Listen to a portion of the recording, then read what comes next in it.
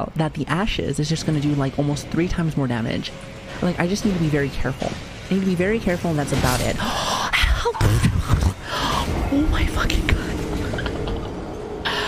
you said, "Careful, careful, this bitch."